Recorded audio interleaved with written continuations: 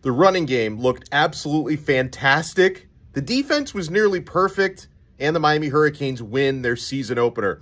Hi, I'm Alex Donno from Locked On Canes, and yeah, the Canes against the other Miami, Miami, Ohio, come away with a 38 to 3 win at Hard Rock Stadium to open up their season. And guys, uh, we were wondering how Miami's rushing offense and rushing defense would do.